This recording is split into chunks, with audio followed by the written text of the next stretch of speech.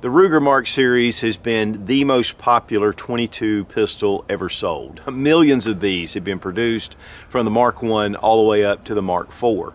One of the beautiful things about the Mark IV is it makes disassembly and reassembly much easier, which has traditionally been a bane for the Ruger Mark series. But with everything, there are improvements. When you have production costs, you try to keep it as low as you can and yet have a good quality, reliable firearm. And that's where Volquartsen comes in. They make the best aftermarket parts for your Ruger Mark series and also for the 1022 for that matter. Uh, they're just world renowned and we're going to take a look today at their accurizing kit for the Mark IV. Uh, not only does it really improve the trigger pull, which is exceptional, but it includes parts that really upgrade. And we'll take a look at the parts comparisons. I mean, Volquartsen really has world-class parts. But not only does it make the trigger pull better, uh, it also, because of the way that it's designed when you enter the magazine, it actually aligns it better and it gives you better reliability. Uh, even with this Mark IV, I've had a few issues with reliability. Once I've installed the accurizing kit, they went away. And also we're going to take a look at replacing the ambidextrous safety on the right side of the firearm, which was really easy to do. And I want to thank Volquartsen for sending the accurizing kit to install in this Mark IV. Now, the Volquartsen accurizing kit was part of the holiday gift guide on GetZone.com. Uh, you will find all of our videos over on GetZone. It is our backup from YouTube, just in case with the way social media is doing. But we really appreciate GetZone for hosting this video and for connecting us with Volquartsen. Now, one of the things about this accurizing kit, it's the same trigger kit that's in the Black Mamba. And so you're getting a lot of the same features with your trigger, with your reliability that's in the Black Mamba, and honestly for a fraction of the price. The Volquartsen Accurizing Kit for the Mark IV will transform your trigger pull. It'll also disable the magazine disconnect safety. It'll just make it more reliable, much higher quality parts. Now here we have one of the Mark IV Lites. It is the 2245. There's a couple of small differences between the 2245, but they're very minor and the parts are included for each one. Now here is your accurizing kit. Uh, we have our hammer, and this is a target hammer. It's actually wire EDM cut, and it's A2 tool steel, and so is the sear. Uh, we have our target trigger, and these are CNC machined, and we have our disconnector, which is CNC machined. We have our trigger plunger and our trigger plunger spring. We have our hammer bushing, and so there's a number of different upgrades here that are really going to help make this a much better trigger pull. Now included in the kit are two hammer bushing spacers. You have one for the standard Mark IV, you have one for the 2245. It also includes a 2245 over travel screw. It's a little bit shorter than the one installed, and so we're going to switch that out.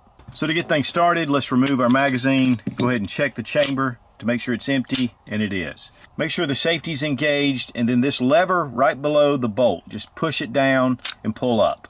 It's one of the beautiful things about the Mark IV over the Mark III and II and we can just take our upper assembly and we can just put it to the side. Next we're going to reinsert our magazine and then we're going to disengage the safety. Uh, take your finger or your thumb, put it on your hammer, pull the trigger and let your hammer move forward. Next remove your grip panels.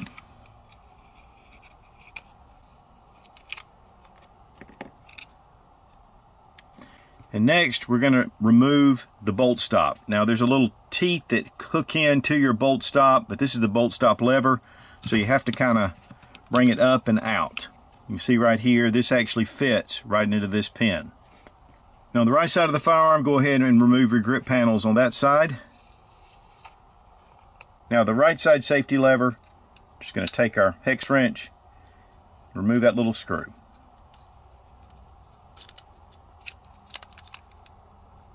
Now next we're going to remove the left side safety. So we just want to pull it out. Now you want to be careful right here. There is a small little plunger and spring. And when we pull this out, actually the safety itself will come out and your hammer.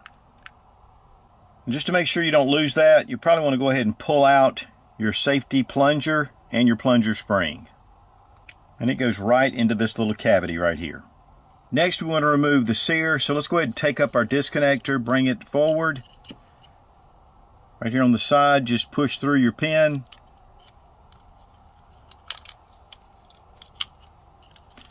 And then the rest will fall right out.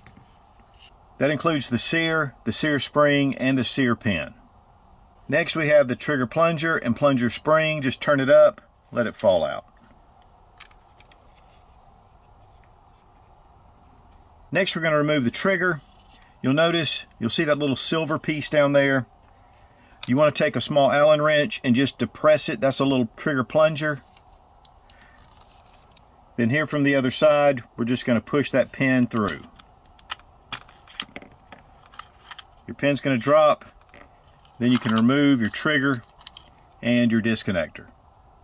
Then remove the trigger from the disconnector. The actual bolt stop itself is a little lever. We need to pull it out. And then inside here is a small spring. Just drop it out.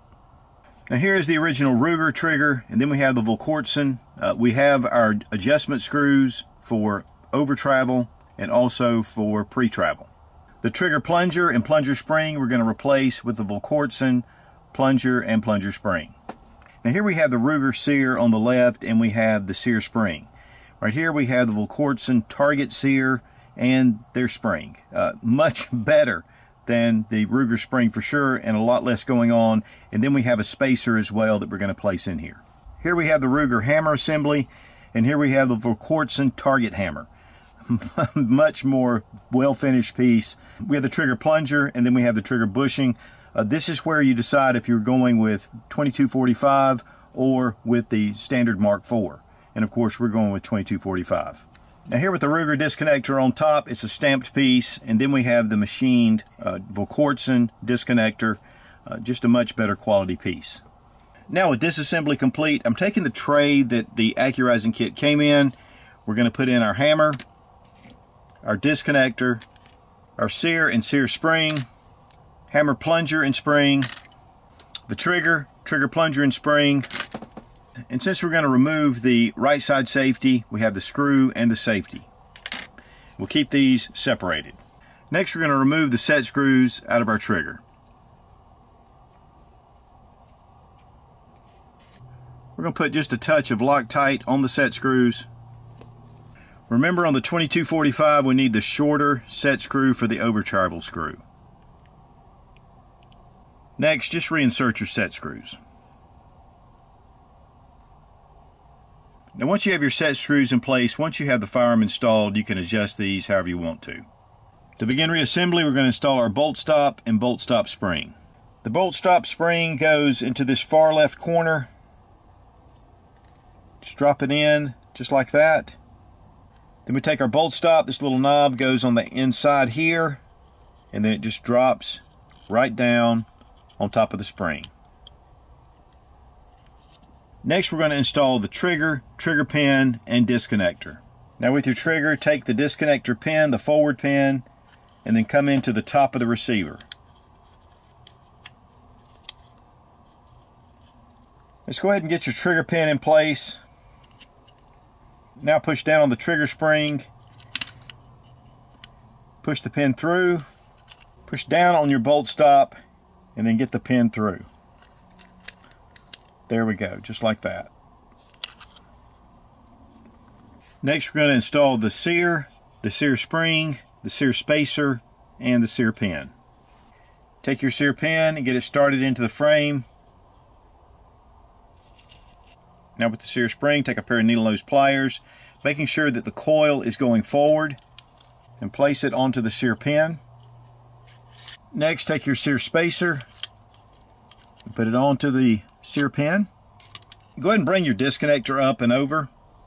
Now the sear in this orientation, make sure the little L is pointed toward the right side of the firearm. There we go. The pin, the sear pin has slid through. Uh, I'll tell you guys, that's the trickiest part of the installation. Next, we're going to install the safety, the safety lever, and the trigger, plunger, and spring. Move your sear forward and take the safety with this little hook and put it into the sear the top of the sear.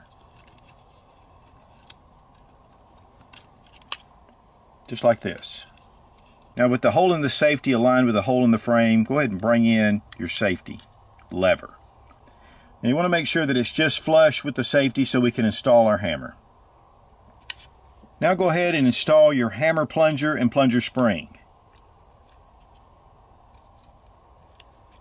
We can bring down our disconnect, it'll hold it into place. Next we're going to install the hammer, the hammer bushing, and the hammer spacer. Remember, 2245 or Mark IV, whichever pistol you have. We're going to take the hammer bushing, put in one side, and the hammer spacer in the other.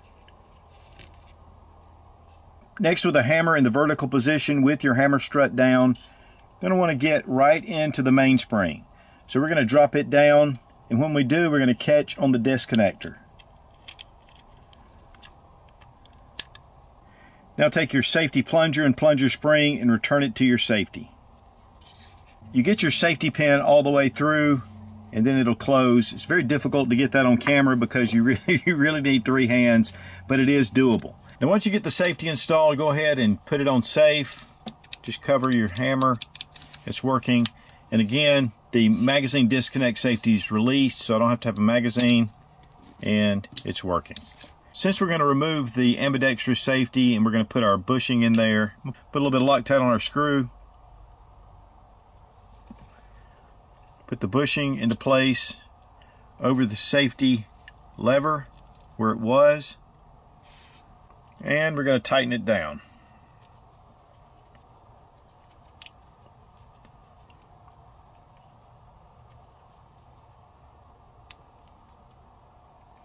Next, we're going to take our slide stop. You want to take these little forks and put it into where the uh, bolt stop is. Line it up right here with your grip screw or the area where you put your grip screw, making sure that is functioning. Next, we're going to replace our grips.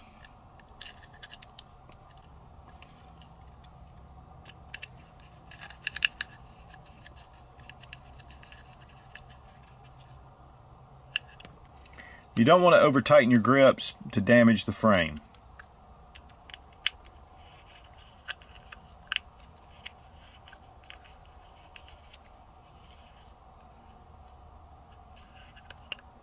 Next, take your upper assembly, hook it into the frame, bring it down.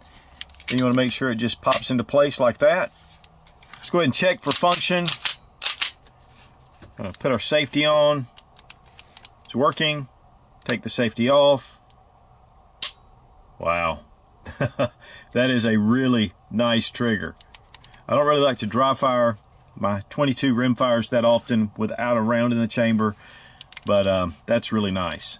Now I can set my trigger screws however I want to to prevent over travel here or your take up. Just a really nice system. And what I really love is I don't have to have the magazine in here if I want to check. I mean, I hate magazine disconnect safeties and honestly it was worth it just for that. But that trigger, fantastic. And to be honest with you guys, it just has better parts. We have our set screw pulled all the way back. A little bit of take up right here. Wow. I mean, it is just a nice, crisp break. You feel like you come against the wall so you know when it's going to break, but it's not much pressure to go ahead and push it over the edge. Let's check our trigger pull weight with our Lyman trigger gauge from Brownells. Two pounds, 3.3 ounces. We took the Mark IV down to the range after installing the Volquartsen accurizing kit, uh, and it was flawless. I mean, it, the trigger pull was just much better. Uh, the parts actually help the gun just to feed more reliably as well. Uh, one of the things that I've had a couple of issues with with this particular Mark IV is some reliability issues. And that is one of the things that this kit will do. It just fine tunes your Mark IV. And then of course, with that magazine disconnect removed, just makes it much better. And it was really easy to remove the right side grip safety. Uh, and then it just makes it more trim, more slim. Overall, I am extremely pleased with the Volquartsen Accurizing Kit. It definitely transforms your handgun. And for more information, you can go to volquartsen.com. And we will be uploading a video doing the complete installation of the Volquartsen accurizing parts. But you can go to volquartsen.com and see a really good video of those parts being installed as well. And if you don't feel comfortable doing the installation, you can send it straight to Volquartsen and they'll install it for you. Now, on the Volquartsen website, the Accurizing kit for the Mark IV is $141. Uh, they do make it for the Mark II and Mark III, and that is actually less. And there are a number of different upgraded parts on the Volquartsen website, and you can check that out. But really, for the money to upgrade this to the trigger pull and to better reliability, uh, getting rid of the magazine disconnect, it's definitely worth it. So guys, while the Ruger Mark IV is an excellent pistol, uh, I think the upgrades with the Accurizing kit from Volquartsen is definitely well worth it. Uh, it'll take your standard Mark IV and it'll make it into a world-class shooting firearm. And again, we appreciate Volquartsen for sending the Accurizing kit for this review. Be strong, be of good courage. God bless America. Long live the Republic.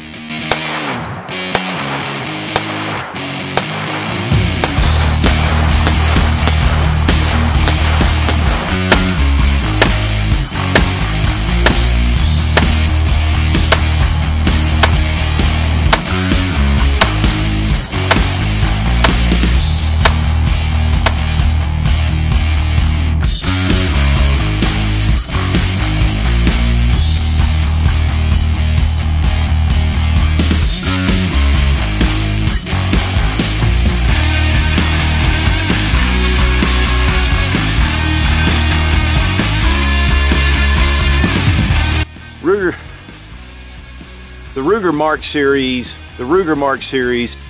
The trigger, the trigger plunger and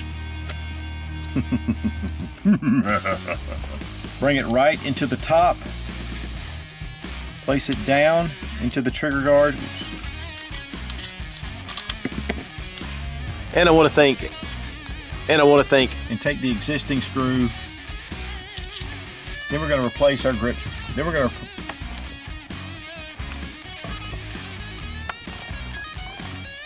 Next, take your upper assembly, lock it into the front of the frame. For light in the 1020